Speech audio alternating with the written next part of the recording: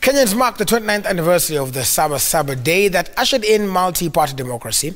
Now, as we remember the men and women who sacrificed greatly for the widening of the democratic space in the country, now join our reporters, our senior reporter, Enoch Sekolia, who is attending the celebrations at Kamukunji grounds. Enoch, paint the picture for us. What is happening? What are some of the sentiments where you are?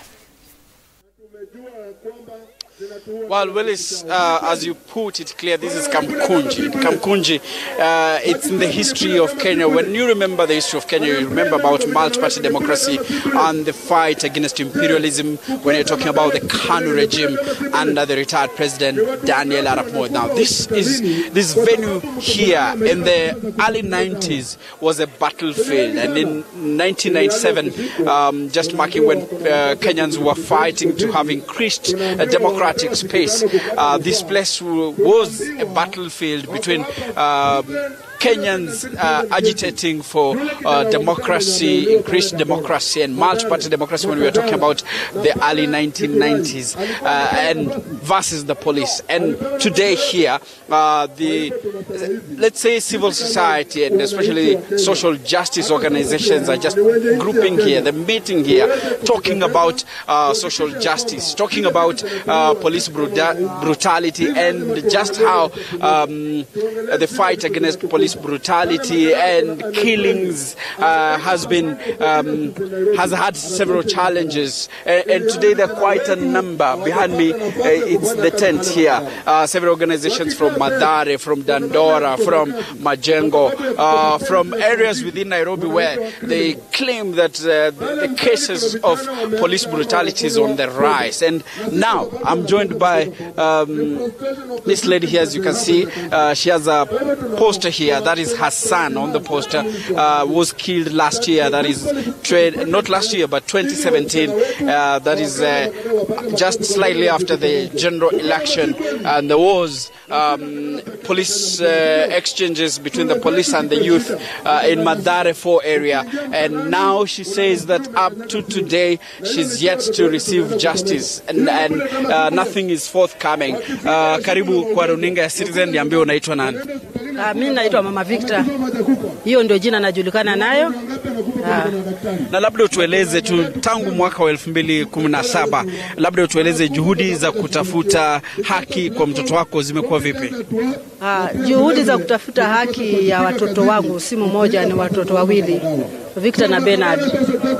Nijafua dafu kwa sababu tumepeleka kesi ya IPOA IPOA anasema kesi imeenda kwa DPP mpaka saa hii hatujapata kitu chochote, na wale watu wale wote wale ambao waliumia, hata watoto wale ambao walipigwa marisasi, wale walipigwa na tear gas, na wale waliuliwa Mathare 4A, hakuna mtu yule ambao ashapata justice.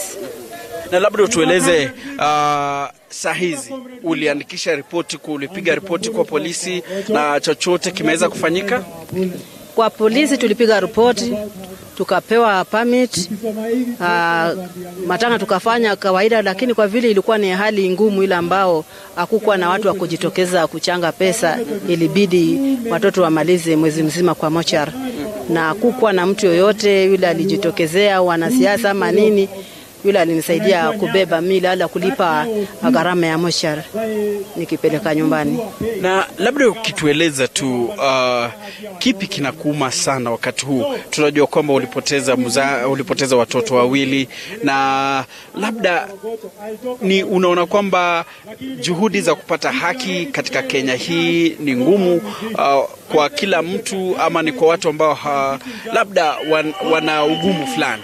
Uh, kile kinachoniuma sana kwa hii nchi yetu ya Kenya, kwa sababu hii nchi yetu ya Kenya naweza kusema kama iko na upendeleo, imependelea pande nyingine, pande nyingine hapana.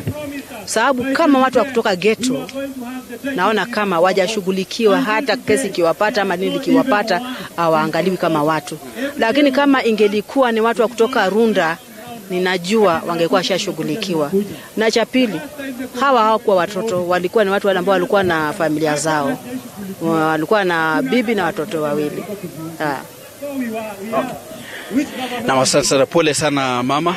Uh, as you've heard that is uh, uh, this lady here saying that it's now more than two years uh, and nothing has been forthcoming in terms of uh, getting justice for her two sons who were killed in the hands of police. And so she's just here among the people who have come here in protest. And they maintain that, uh, in the actual sense, uh, things have to change. They want things to change so that uh, issues of police brutality and killings um, get uh, like get done with.